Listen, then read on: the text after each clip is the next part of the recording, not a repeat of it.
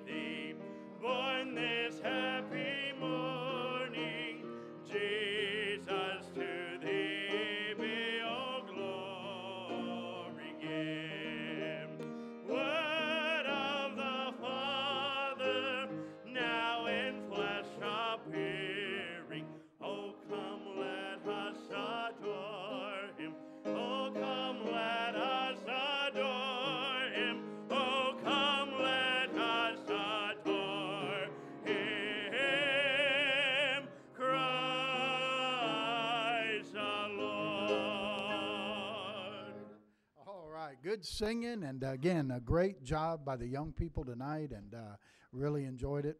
And uh, quite a production, really, and uh, a lot of stuff involved in that, and uh, they did a wonderful job. Thanks for staying for the service, and uh, let's pray together, shall we? Father, we bow before you in prayer, and we thank you, Lord, for this evening and already what we've heard, and Lord, the tremendous job by the children and the focus on Christ at Christmas, and how so many things we can look at that will point us to Him. And I pray, Lord, that uh, you'll be pleased now with the service that we gather together for here this evening.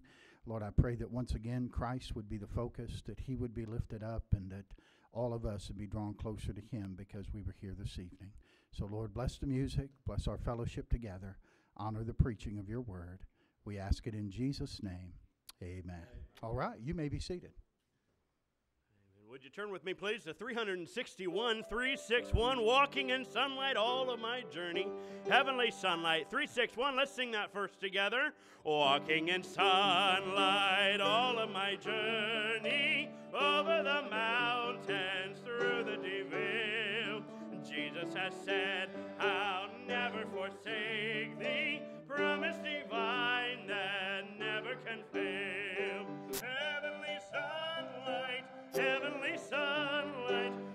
flooding my soul with glory divine. Hallelujah, I am rejoicing, singing his praises. Jesus is mine. Shadows around me, shadows above me, never conceal my Savior and guide. He is a light, in him is no darkness. Ever I'm walking close to his side.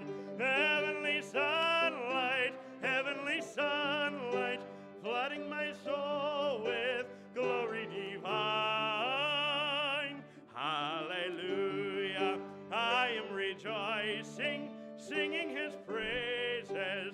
Jesus is mine. In the bright sunlight, ever rejoicing, pressing my way to mansions above, singing his praises. Gladly I'm walking, walking in sunlight. Heavenly sunlight, heavenly sunlight, flooding my soul with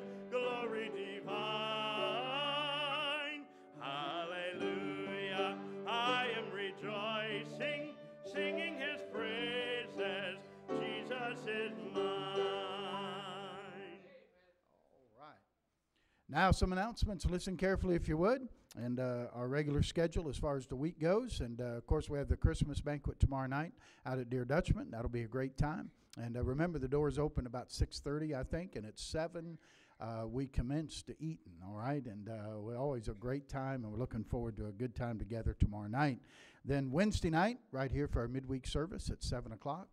Uh, and the children's clubs will be meeting as well during that time. And uh, Wednesday, 7 p.m. Saturday morning, we'll be going Christmas caroling. All right, uh, we go to a, a, nursing home or two, and uh, also I think I'd like to go over to the Select Hospital there, and we'd like to go sing for Paula Ross uh, during that time. So we're going to try to do that Saturday morning, and uh, so we'll leave at 10 o'clock sharp. Saturday morning, all right? So make sure you uh, plan to come for that. There is a sign up sheet downstairs if you'll sign up for that. Uh, if you just bring some cookies with you for uh, others to share, uh, Christmas cookies, Fellowship Hall, Oreo cookies, last office on the left, okay? and we'll be take care of those for you, all right?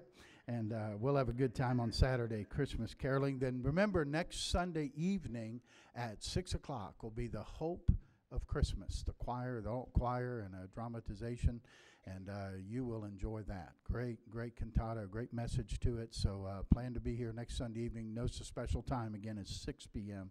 Uh, next Sunday night. All right. And we'll take a moment. Anybody visiting tonight? Anybody here for the very first time? I know we have some folks here that came to see grandchildren and nieces and nephews and such. Uh, anybody here? This is your very first time at Bible Baptist? I think so. All right. We have an anniversary to celebrate. John and Cheryl Polable. Just been married 46 years. I think what a yeah. So that what a woman to stay with John 46 years. Amen. But uh, they probably went home on the couch and she said, "You used to sit close to me." yeah, you have to have been here this morning to understand that one, but. Uh, we so appreciate the poll labels. They were saved at this church, baptized at this church under Pastor Rock, and uh, just so good to have them here in our church. And we're so thankful for their celebrating 46 years together. Isn't that great? And um,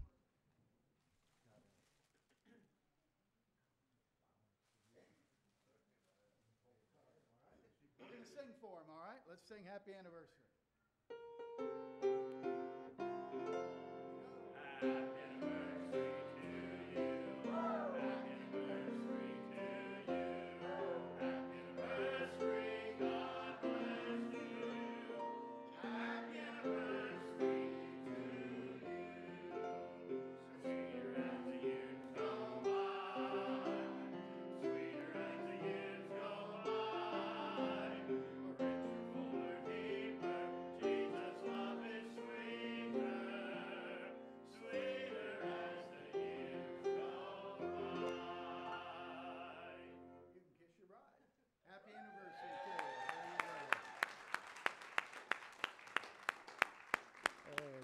Congratulations. That's great, isn't it? All right. Take your songbook. Let's all sing again together. Number 337, 337. When we walk with the Lord in the light of His word, trust and obey. 337 on that first together. When we walk with the Lord in the light of His Word, what a glory He shed on our way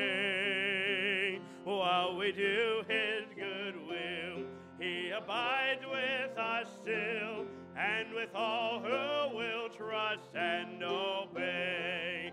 Trust and obey, for there's no other way to be happy in Jesus but to trust and obey. Let's sing that third. Not a burden we bear not a sorrow we share, but our toil he doth richly repay. Not a grief nor a loss, not a frown or a cross, but is blessed if we trust and obey. Trust and obey, for there's no other way to be happy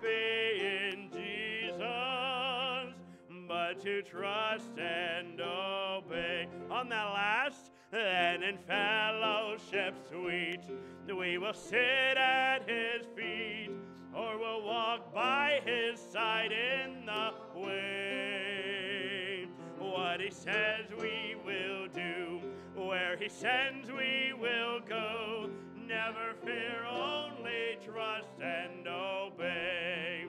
Trust and obey, for there's no other way to be happy in Jesus but to trust and obey.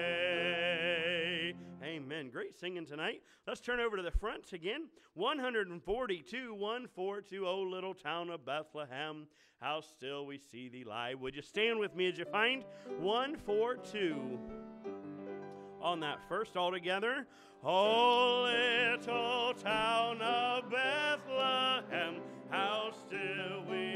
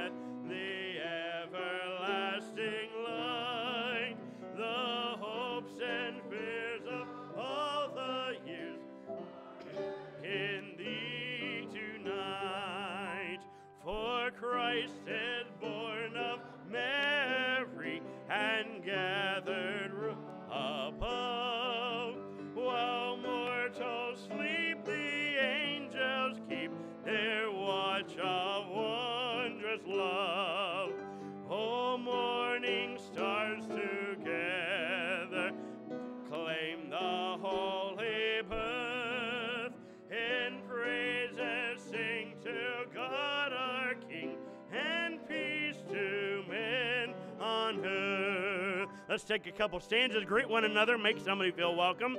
We'll come back and sing that last stanza together.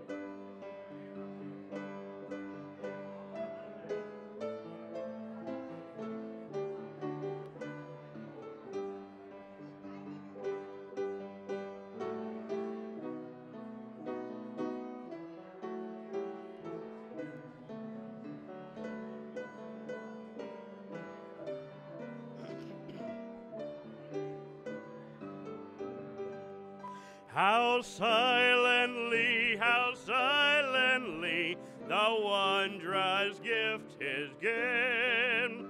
So God imparts to human hearts the blessings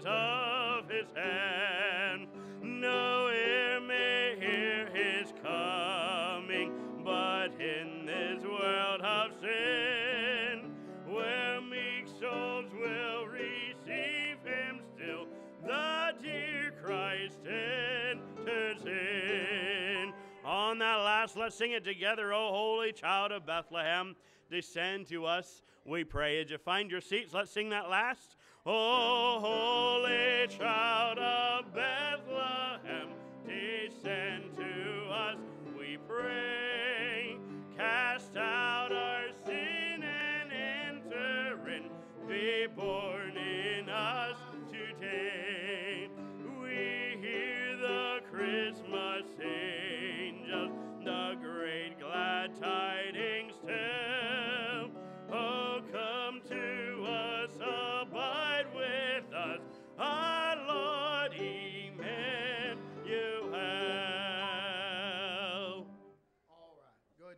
Seated if you will, and the ushers will come get our offering tonight.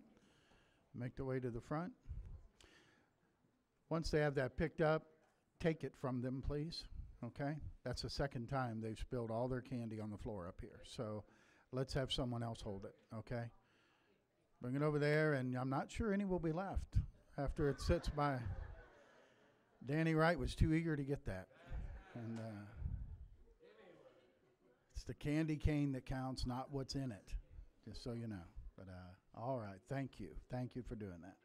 All right, and Allie, we're kidding. You'll get all your candy too. Okay, don't worry about it. It'll be all right.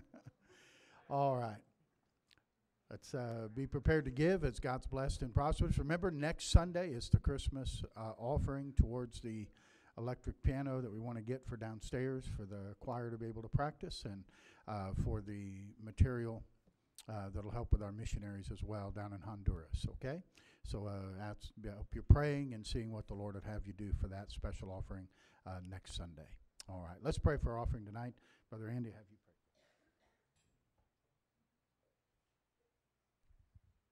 pray? Father, we come to you tonight, and again, we thank you for an opportunity to be in your house. And Lord, we thank you for who you are.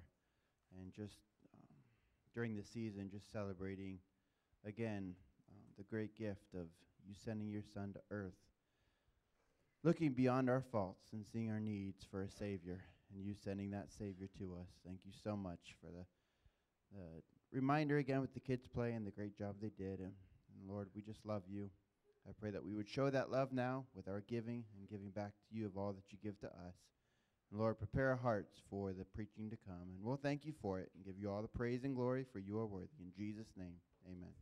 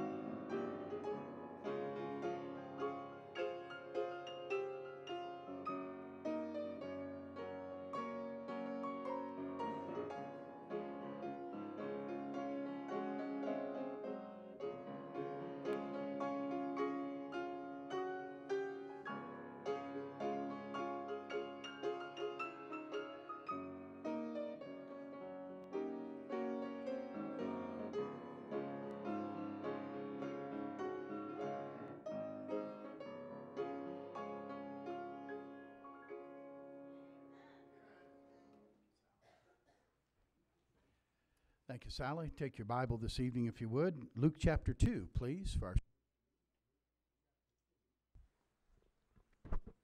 Luke chapter 2, please.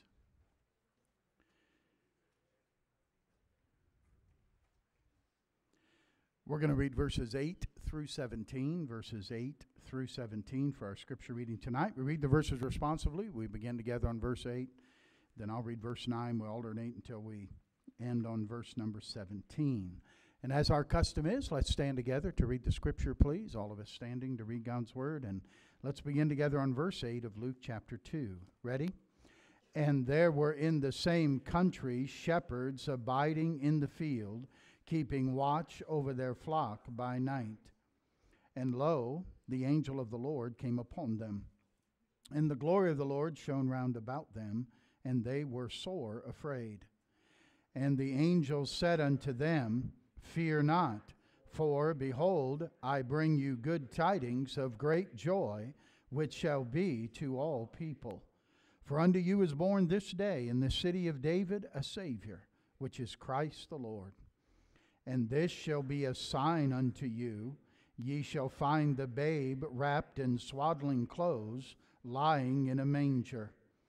And suddenly there was with the angel a multitude of the heavenly host, praising God and saying, Glory to God in the highest, and on earth peace, goodwill toward men.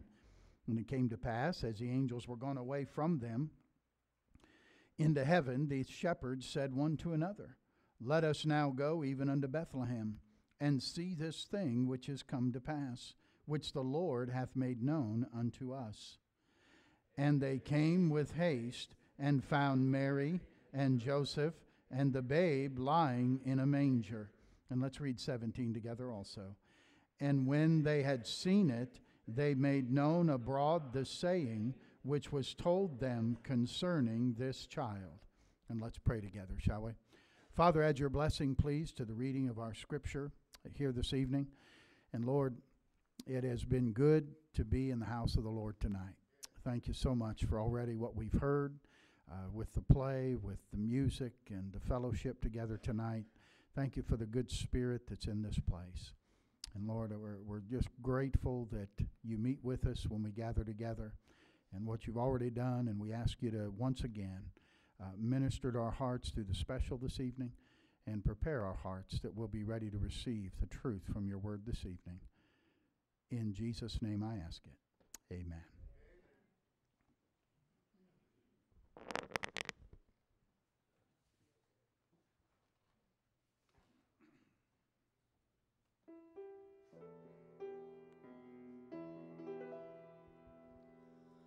One small child in the land of a thousand, one small dream of a Savior tonight, one small hand reaching out to the starlight, one small city of life, one king bringing his gold and his riches, one king ruling an army of might, one king kneeling with incense and candlelight, one king bringing us life.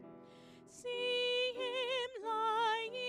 cradle beneath him, see him smiling in the stall. See his mother praising his father. See his tiny eyelids fall. One small light from the flame of a candle. One small light of might. One small light from the stars in the endless night. One small light from a feast. See the shepherds kneeling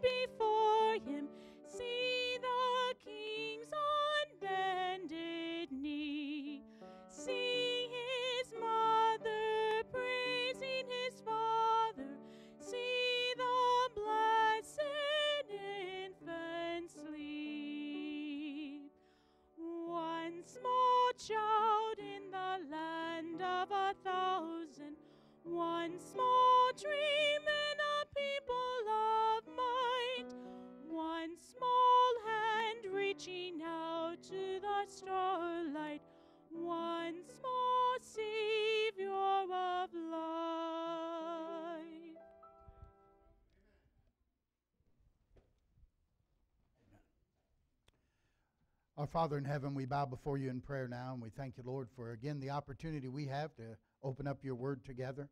I pray, Lord, that in the next few minutes you would speak to our hearts as only you can. I pray you'd honor the, the word of God as it is taught this evening, and Holy Spirit, do what only you can do in each one of our hearts and lives. Help us, Lord, to focus. Uh, help us to give our attention this evening to the principles and the things that we'll look at from your word tonight, and let us learn some things and maybe be reminded of some things, Lord, that'll help us to keep focused on Christ at Christmas time. Lord, use the, the Word of God in each of our lives tonight now, please. I pray in Jesus' name. Amen. Heart transplants are an increasingly more common today than what they once were. The first heart transplant was given in 1968 most of you are familiar with the name Dr. Christiaan Barnard. He was a South African physician, and he transplanted a human heart into do- another doctor, Dr. Philip Blaiberg. And after the surgery, Dr. Barnard carried the old heart in a plastic box and showed it to the patient. The two doctors sat on his hospital bed and they examined the scars and the thickening tissues of his old heart. And Dr. Barnard said, Dr. Blaiberg, do you realize you're the first man in the history of humankind to sit and look at your own dead heart? It's pretty incredible. Now, he received that new heart, and for those of you who don't know, I looked it up. I, I got to thinking, I wonder how long it lasted. Well, it lasted 19 months and 15 days. It's all the longer that extended Dr. Blaiberg's life. And I'm glad that when Jesus gives you a new heart, that it doesn't just last for 19 months and 15 days, amen? But it lasts forever. It's a forever transformation. And you know, when you understand the true meaning of Christmas and you come to understand just who Jesus Christ is, and you receive Him as your Savior, He transforms your heart. And your desires change, and your, your, your, your uh, passions change, your focus of Christmas changes. In fact, your life changes. It's, it's not unlike, that's why I think probably the movie Scrooge was so popular. Because as he sees the past, the present, and the future of Christmas, he, he sees, he realizes how empty and bitter his life has been, how self centered he's been. And of course, he changes everything, at least for the Christmas that when he comes back. We don't know how long that lasted either. But I know this when Christ changes your life, it'll last forever. It's not a temporary change, it's a complete change, and it's a permanent change. The birth of Jesus Christ brought about a lot of dramatic changes in people's lives. A lot of people were never the same after the night that he was born. And I'm going to look tonight, just briefly, I'm not going to keep you very long, but I want to look at, at three different people are, uh, that, uh, that their life was changed by the coming of Christ. And maybe they're not directly involved in his birth, but they were surrounding with his birth. And a couple of them were definitely directly involved in the birth. And I want to learn just three principles from these three groups of people that will help us to live by their principles during the Christmas season. All right? Let's look first of all and Luke chapter 1. Would you turn there? Just over a page, hopefully, in your Bible. In Luke chapter 1, we're introduced to a couple. The couple's name is Zachariah and Elizabeth. Okay? And uh, Zacharias the priest and his wife Elizabeth faithful followers of the Lord. Verse number 5. There were in the days of Herod, the king of Judah, a certain priest named Zacharias of the course of Abia. And his wife was of the daughters of Aaron, and her name was Elizabeth. And they were both righteous before God, walking in all the commandments and ordinances of the Lord, blameless. Now, that's an amazing commentary because that's not somebody saying that about them. That's the Holy Spirit of God saying that about them. This is not the opinion of man. This was the statement of God about them. Amazing people. But notice verse number 7. They had no what? child because Elizabeth was barren, and they both were now well stricken in years. And it came to pass that while he executed the priest's office before God in the order of his course, according to the custom of the priest's office, his lot was to burn incense when he went into the temple of the Lord. And the whole multitude of the people were praying without at the time of incense. And there appeared unto him an angel of the Lord, standing on the right side of the altar of incense. When Zacharias saw him, he was troubled, and fear fell upon him. But the angel said unto him, Fear not, Zacharias, for thy prayer is heard. And thy wife Elizabeth shall bear thee a son, and thou shalt call his name John. And thou shalt have joy and gladness, and many shall rejoice at his birth. And he shall be great in the sight of the Lord. He shall drink neither wine nor strong drink. And you're great in the sight of the Lord when you don't either. And he shall be filled with the Holy Ghost even from his mother's womb. And many of the children of Israel shall return to the Lord their God. And he shall go before him in the spirit and power of Elias to turn the hearts of the fathers to the children and the disobedient to the wisdom of the just to make ready a people prepared for the Lord. And Zacharias said to the angel, Whereby shall I know this? For I'm an old man and my wife is well stricken in years. The angel answering said unto him, I'm Gabriel, that stand in the presence of God, and am sent to speak unto thee, and to show thee these glad tidings. And behold, thou shalt be dumb and able and, and not able to speak until the day that these things shall be performed, because thou believest not my words, which shall be fulfilled in their season. Now, here's the here's the amazing thing. Here's Zachariah and Elizabeth. They're, they're getting up in years now, and, and evidently they had prayed for years to have a child. Most of you know it was just a disgrace for a couple, a married couple, and a woman particularly, not to have children. They looked upon that, the fruit of the womb was his reward. And they looked upon that as the blessing of God. And they really felt disgraced uh, uh, not to have a child. And so, uh, the, in fact, the more children they had, the more blessed you were. That's why the Bible says, Happy is a man that hath his quiver full of them. All right? And, and so, Zacharias and Elizabeth had grown older, and now they're past the childbearing years. But, and, and they probably, I don't know if they were, uh, if either one of them was still praying. I'm not sure they were still praying for that. All right? I think they figured it's, the time has passed. Uh, God just didn't want us to have a, a child but uh, they, they might have thought it just wasn't God's will for us to have children. I, I wonder how many times they had the discussion. I wonder why God didn't hear our prayer. I wonder how come God never gave us any children. And, and the truth of the matter is, God heard their prayer. We know that by reading what the angel here said. Uh, I think it was the angel uh, Gabriel that responded to his prayer. And so he's in the temple offering the incense, the prayers for the people, and they're praying without. And the angel shows up and tells them, Your prayer's been heard. You and Elizabeth are going to have a son. And, and Zechariah fi- finds it very hard to believe. In fact, he, he kind of tells the angel, and it's always interesting when we try to tell God what our predicament is. And tell God how, how uh, didn't you, don't you remember how old we are? Uh, don't you remember how I'm past? Uh, th- this just isn't going to happen. Uh, and, and he said, Listen, I stand in the presence of God. Uh, Gabriel's saying, I'm just a messenger. I'm just sent to tell you what God said.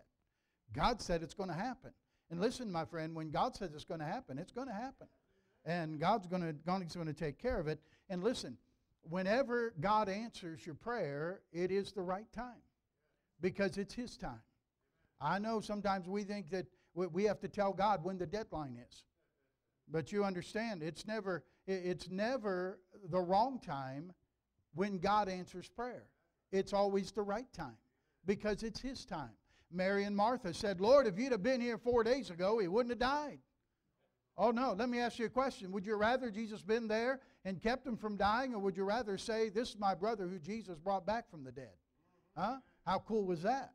Uh, been there to see uh, the resurrection and, and him being alive from the dead. It's always on time. But I wonder, there's no doubt, Zachariah and Elizabeth, of course, you know, he came out of the temple and, of course, he couldn't talk, and everybody wondering what was going on, and he would have to write, uh, write things down to be able to communicate. And uh, he, he, I can't imagine what Elizabeth thought. I can't imagine when the word began to spread or when Elizabeth began to show. Can you imagine that? I mean, here's somebody, they may have been married 46 years. I don't know. And uh, could you imagine if, if Cheryl showed up at church and you say, Hey, Cheryl, uh, and she said, Well, I've been trying to keep it a secret, but John and I are going to have a baby. Huh? Yeah, that's what, that, don't you think people in town did just what you did? They laughed a little bit and snickered some and said, You really? Huh? Is that possible? Huh?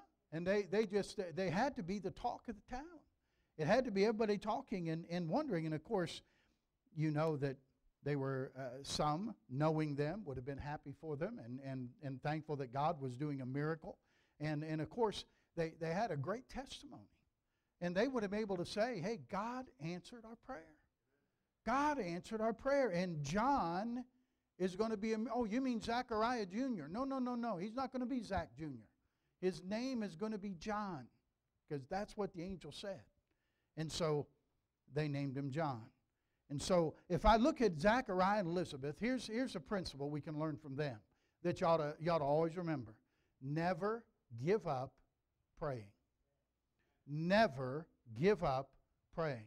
How many times? I wonder how many times we, we've been right. God has heard our prayer. God's ready to answer our prayer. And we threw our hands up and said, forget it. Hmm? And we gave up praying. Every time Jesus taught on prayer, he taught about importunity in prayer. He taught about persistence in prayer.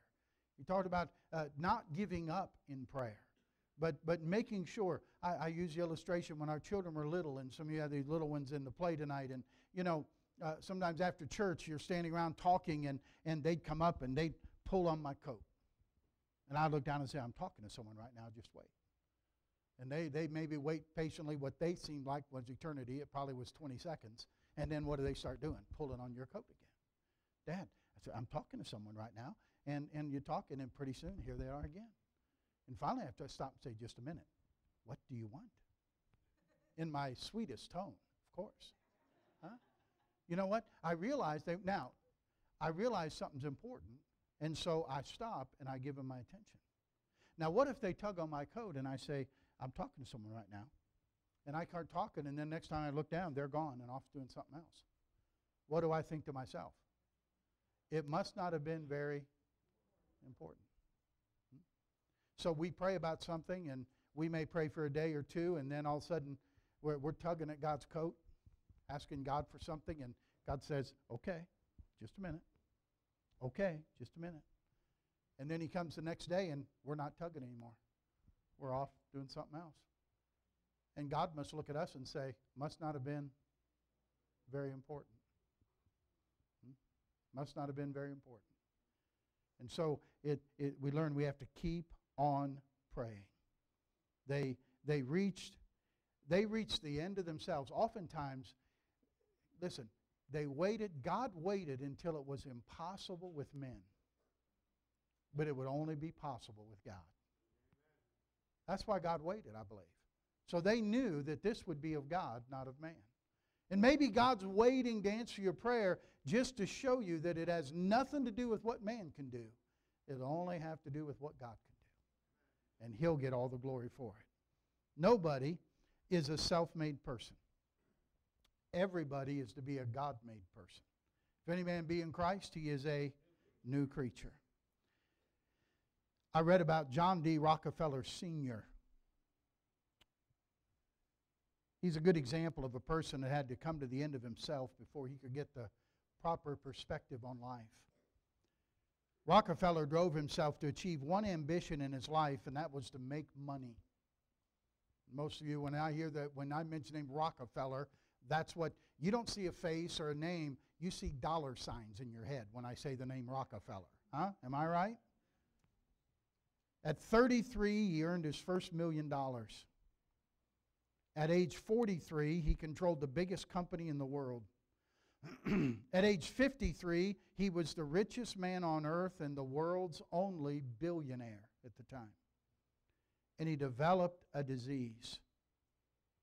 A disease that caused all his hair to fall out, his eyelashes and his eyebrows to disappear. He lost so much weight, he just became skin and bones. His weekly income was a million dollars. And he could eat milk and crackers. That's all he could digest. He was so hated in Pennsylvania, he had to have bodyguards night and day.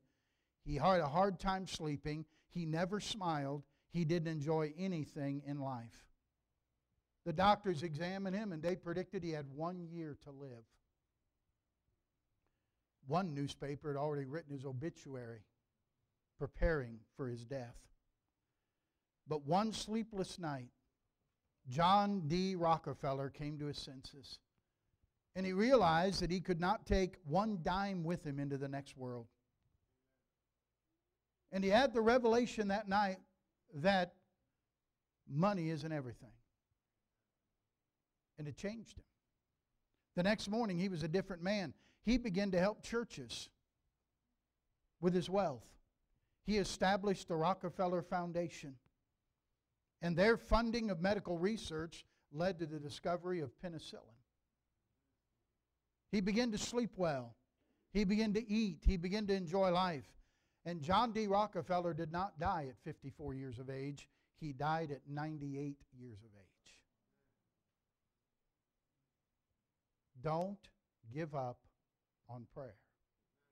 Don't give up on prayer. Talking to people tonight, you've prayed for something and you've prayed and you've quit. It's time to start praying again. It's time to start going to God again. Zachariah and Elizabeth teach us don't give up on prayer. Obviously, the next couple we're going to look at is the couple who were chosen by the, by the Lord to be the earthly parents to the Lord Jesus. The angel appears to someone else down in verse number 30. Well, let's, let's back up a little bit in verse number 26.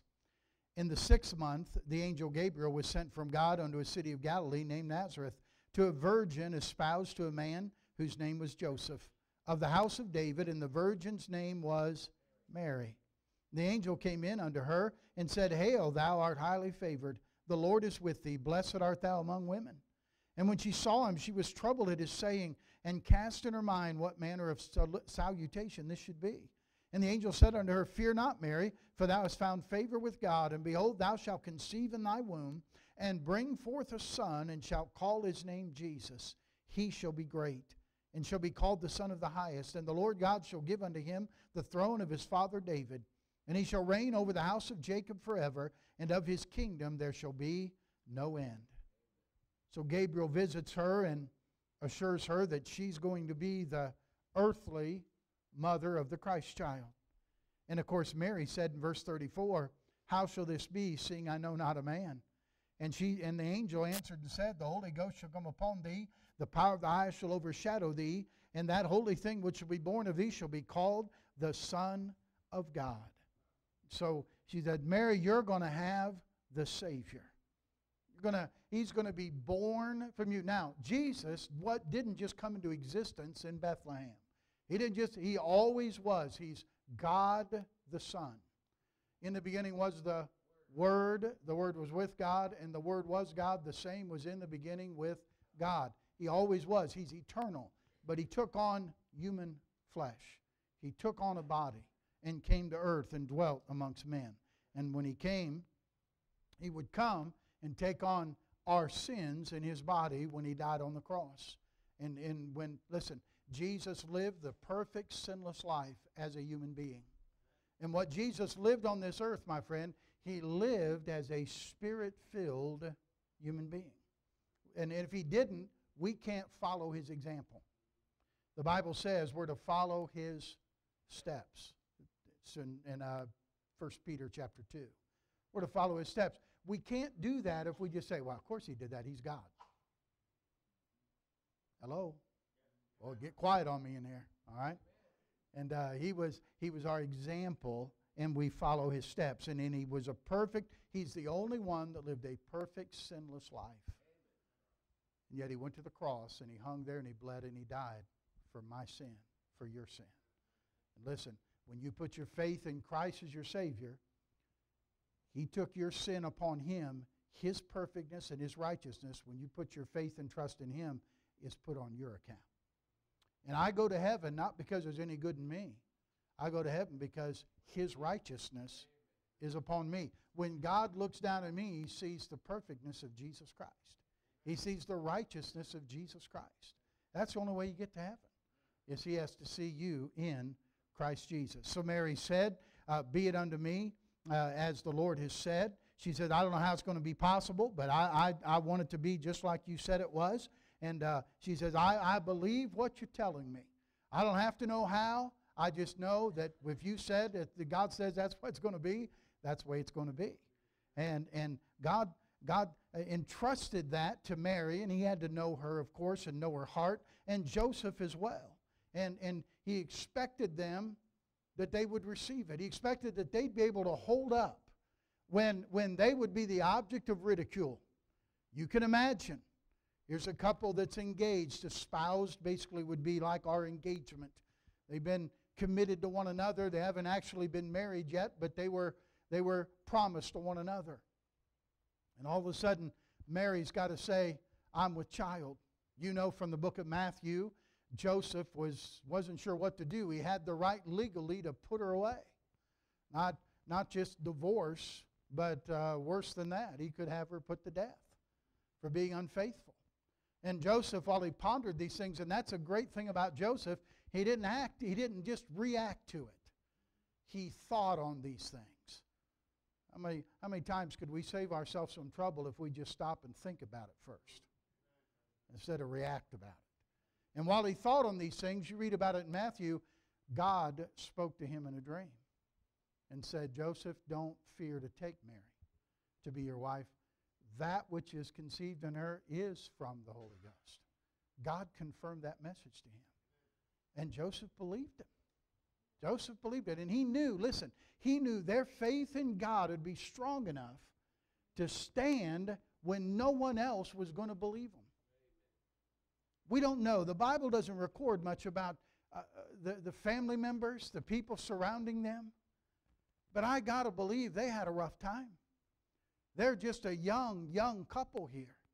And, and listen, while we live in a day, it's hard for us to fathom because we have people out of wedlock that have children and, and we have people who aren't married and have children. I, I, I, don't know what the percentages are now, but I think there's just almost as many children born out of wedlock than there are in marriage. And, and, and so it's kind of a, something we've just come to accept. But it wasn't that so. And some of you are old enough in this room, you remember the day when it wasn't that way in our country either. But it certainly wasn't that way in their day. And so they, they had to face some tremendous opposition and some tremendous ridicule tremendous uh, people who I'm sure cut them off and said, We don't longer have anything to do with you. We don't want anything to do with you. Yeah, well, this, this baby's from God. Yeah, yeah, sure. You imagine that? And yet they believed what God said. You see, God, their faith in God and God's trust in them See, God knew I'm going to trust them with him, and I believe God says they're going to have the faith to stay with it. They're going to have the belief to, to, to, to hold the line. God had that much confidence in them and their faith in him. It's amazing what, what people can do when you show some confidence in them, when you show some faith in them read something earlier. An elementary school teacher named Jean Thompson. She was a fifth grade school teacher.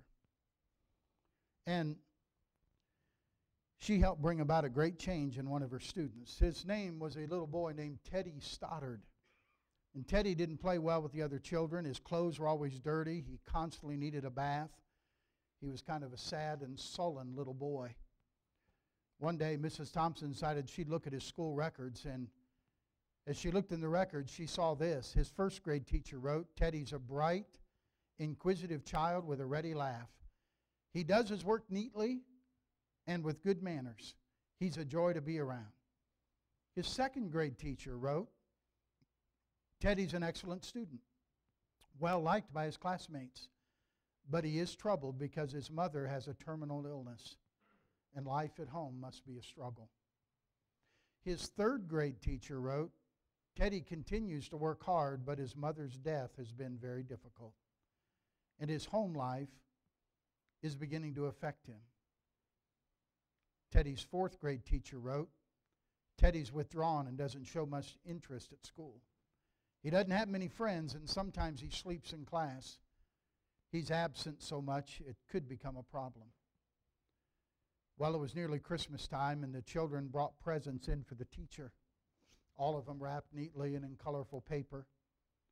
And Teddy brought his in, but it was wrapped in a brown paper grocery bag.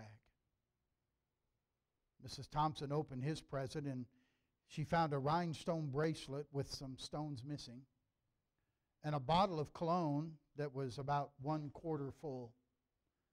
The other children began to laugh. But Mrs. Thompson put the bracelet on and commented to Teddy how pretty it was. She also dabbed some of the perfume on her wrist. After the party that day, Teddy Stoddard stayed behind long enough just to say to her, Mrs. Thompson, today you smelled just like my mom used to. When the children left, the teacher cried. The next day, Mrs. Thompson took a new interest in teaching her children, and she worked especially hard with Teddy. And as she worked with him and encouraged him, she, he, become, he seemed to come alive. The more she encouraged him, the faster he responded. By the end of the school year, he'd become one of the smartest children in the class. A year later, she found a note under her door at school from Teddy telling her that of all the teachers, she was his favorite. Six years went by, and she got another note from Teddy. He wrote that he'd finished high school, graduating third in his class, but she was still his favorite teacher. Four years later, she got another letter saying he graduated from college with the highest honors, but he assured Mrs. Thompson that she was still his favorite teacher. Several years later, she received another letter telling how he appreciated her as his teacher and that she was still his favorite, and the letter was signed Theodore F. Stoddard, MD. A year later, she received a letter stating he was getting married, and he explained that his father had died a few years earlier and wondered if she would come sit in the pew reserved for the mother of the groom. And Mrs. Thompson went and attended his wedding that day, and that day, she put on that perfume that smelled just like his mother had smelled many years before. Transformations come when somebody believes in you, when somebody puts confidence in you. Just as God put his confidence in Mary and Joseph, and they took that as a sacred trust, and they, they believed with God all things are possible. That's the state motto of Ohio, isn't it? With God, all things are possible. That is exactly how we ought to live.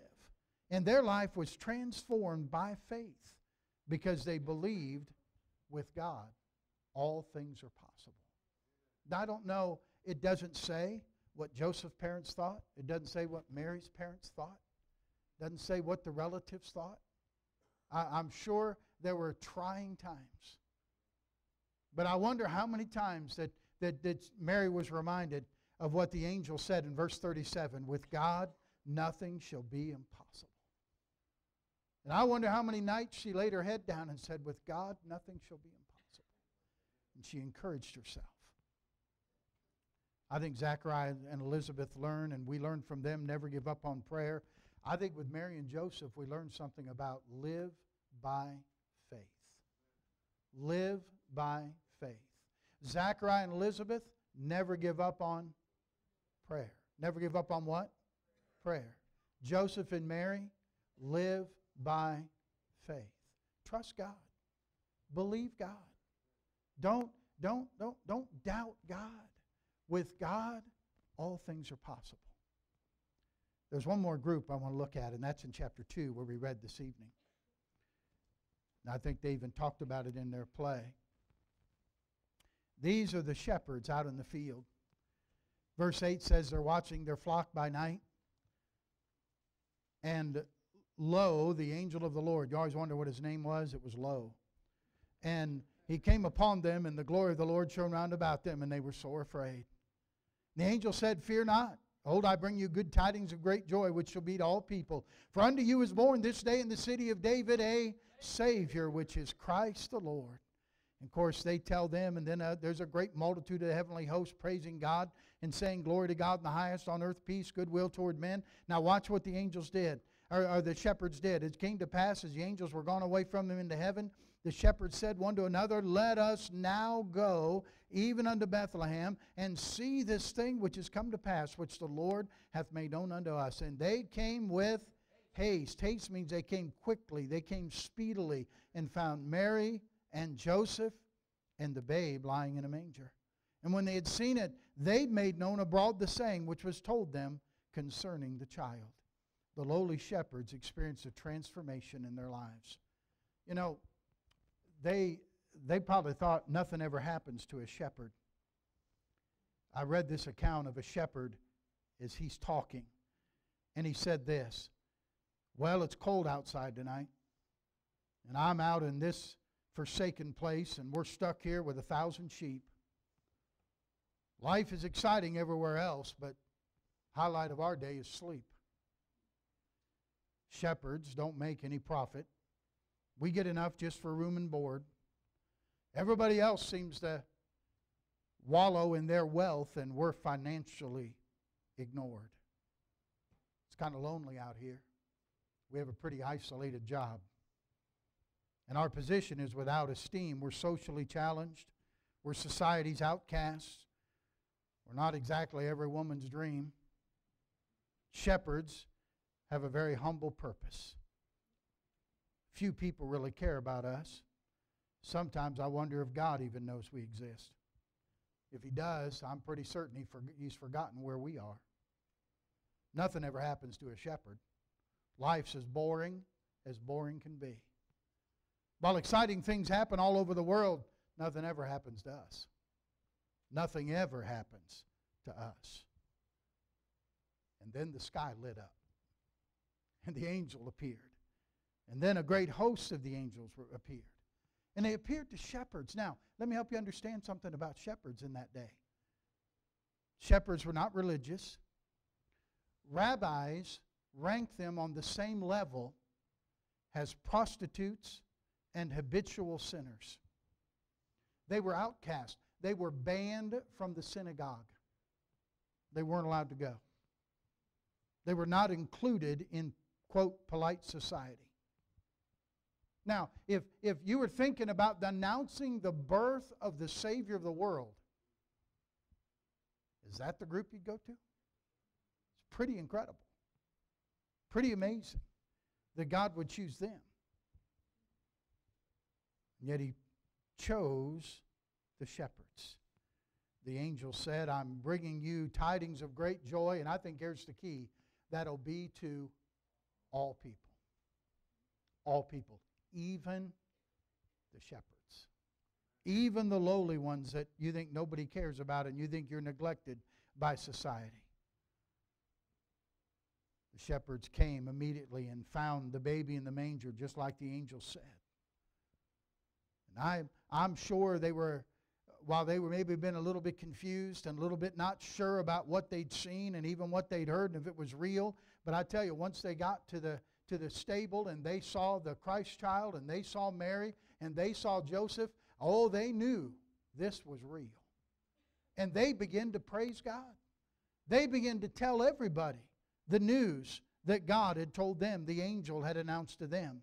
They were the first to see the Messiah. Mary and Joseph saw him. The next guys to see him were the shepherds. And they saw the Christ child. And they didn't keep it to themselves. They went and told other people about it. And, and, and they, were, they were amazed that they got to see the Savior of the world. They knew who he was because the angels told them who he was. And their bewilderment and their, their, their, their confusion turned into wonderment and it turned into praise. The shepherds began to praise God. Hey, can I remember? Can we take from the shepherds the principle to keep praising God? to just praise the Lord? When's the last time you just praised God? When's the last time you just got yourself somewhere and took out a piece of paper and, and turned it over and just began to write down everything you ought to praise God for? And then just go down the list and just have a fit. I mean, take your socks and shoes off and get on your bed and jump up and down and say, Praise the Lord. God's been good to me. And praise Him. You know, it's amazing. We're still talking about shepherds tonight, 2,000 years later. I wonder if those guys, if, if, if they're in heaven, uh, if they, they look at this and say, hey, looky here. We're in the Bible. Huh? Nothing ever happens to shepherds. But looky here. God put us in the Bible. Look, come, come over here. Come over here. Look down there at that church in Grove City. They're talking about us tonight. I think they'd, they'd be thrilled. I think the principle of praise, praising God for what they'd seen. What have you seen God do? I wonder how many of us have seen the Savior and known the Savior and we don't tell anybody about it. We keep it to ourselves. Christmas, it, there's no better time of year to tell people about Jesus. I mean, this is what it's about. It is about Jesus Christ. That's what the, the, the, old play, they could say, no matter what it is, whether it's an ornament or whether it's a star or whether it's a wreath or whatever it is, a candy cane, you can put it to Jesus and tell him who he is. From Zachariah and Elizabeth, we learn never give up on prayer. From Joseph and Mary, we learned to live by faith. From the shepherds, I learned to be committed to praising the Lord. I want to praise Him for His goodness. I want to praise Him. Hey, I want to praise Him that I've seen what I've seen, that I've heard what I've heard, that, that He saw fit to, to save my soul. Hallelujah. You've heard me say this before. Some of you are in families that have brothers and sisters who aren't saved.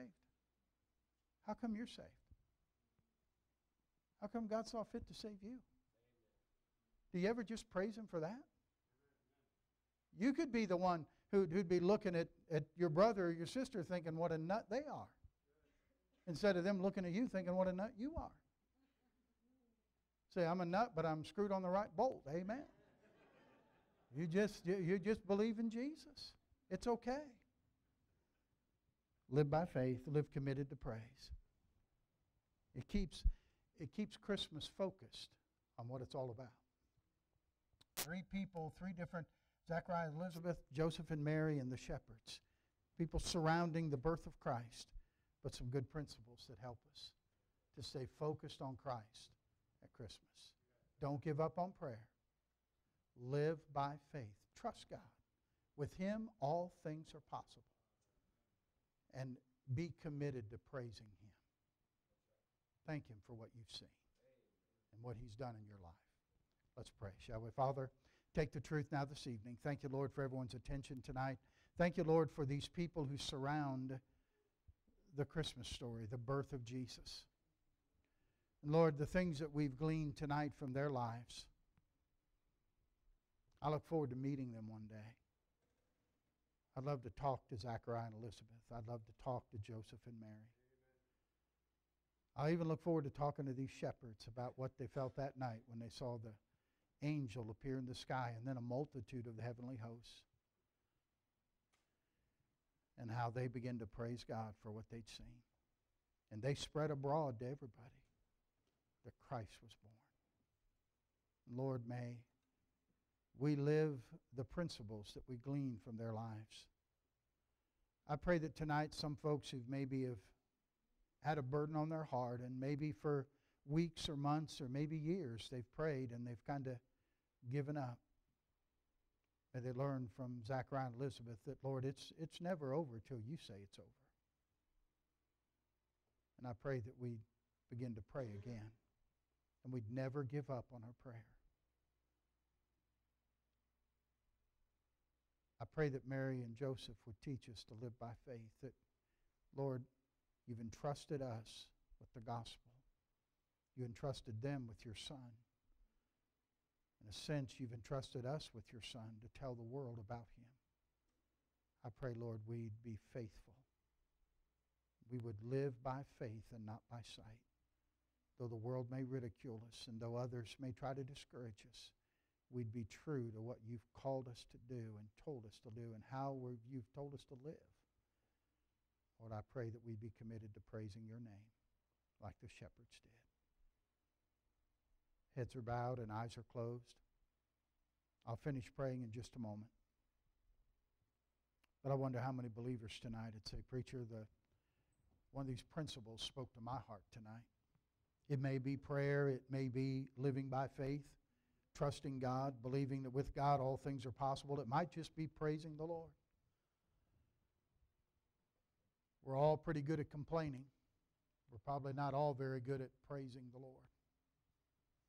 And I wonder if the Lord has spoken to your heart tonight and you'd say, you know what, Pastor, the Spirit of God touched my heart tonight. I want you to pray for me this evening. Would you slip your hand up, Christian, and say, Pray for me tonight, Pastor? Yes. Amen. Amen. You may put them down. In a moment, I'll pray and we'll have our invitation. God has spoken to your heart. It's time for you to respond to Him. Do what He's bidding you to do. Heavenly Father, I thank you for speaking to hearts tonight. I would ask simply that your will be done in each heart and life during this invitation. Thank you for speaking to our hearts, and I pray now we'll respond to what you've told us to do. May holy decisions be made for you tonight that will affect our lives. Allow us to be an influence to others for good and for God. Have your way now in this invitation, and I'll thank you for it. With your heads bowed, you stand to your feet, please. As you stand to your feet, our pianist will play. As she plays, Brother Bob will sing. As he sings the invitation, God has spoken to your heart. Respond to oh, him to tonight. Jesus I surrender. Oh, All to him I freely give. I will ever love and trust him in his presence daily surrender all. I surrender all. Oh, to thee, my blessed Savior, I surrender all. Oh, to Jesus I surrender, humbly at his feet I bow. Worldly pleasures all forsaken, take me, Jesus, take me now. I surrender all. I surrender all. Oh, to thee, my blessed Savior, I surrender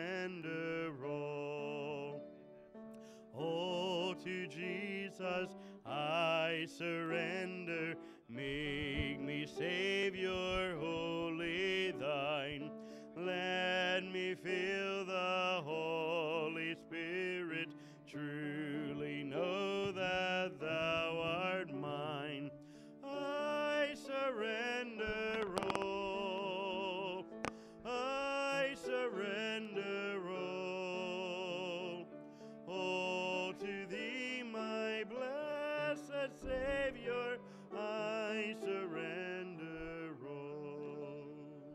Our Heavenly Father, we thank you now for this evening. Thank you, Lord, for dealing with our hearts tonight. And thank you, Lord, for just a wonderful day in the house of the Lord. Thank you for decisions that have been made for you today and for Alan following you in believer's baptism this morning. And Lord, we're asking you now to dismiss us with your care. Make us mindful that you go with us from this place. And Lord, make us ever mindful of your presence. I pray that we'll please you in all we do this week. Lord, I pray that you'll use us to point others to Christ. Allow- us to have this time of year to focus people's attention on the Savior of the world. Now, Father, watch over us. Give everyone safety as they travel, please. Thank you again for a wonderful day. We love you. We prayed in Jesus' name. Amen. Amen. Uh, we're going to sing our closing song. Um, Leanne has a doctor's appointment in the morning at 8:40. It's here in Grove City. And if someone could give her a ride, that would be a blessing. Is there anybody available that would be able to, a lady particularly, that would be able to take her? Okay, I, I understand that. I'm trying to get a, I know, I'd rather it not be a man. I would rather it be a woman to take her. Do you understand that? Okay? That's probably best unless you have a couple, anybody available for that? We sure could use some help. Brenda, you'll be able to do that? Okay. All right. Brenda Parrish can handle that for you, okay? Appreciate you fellas being willing. I really do. That's a blessing. If I ever need to go to the doctor, I'll call you. Okay? And uh, amen. Thank you. All right. Let's sing together. It's a grand thing to be a Christian. It's the best thing I know. Let's sing it together, shall we? It's a grand thing to be a Christian. It's the best thing I know. It's a grand thing to follow Jesus anywhere and everywhere I go, for it's a grand thing to be a soldier in his army here below. It's the grandest thing to be a Christian. It's the best thing I know. God bless you. You are dismissed.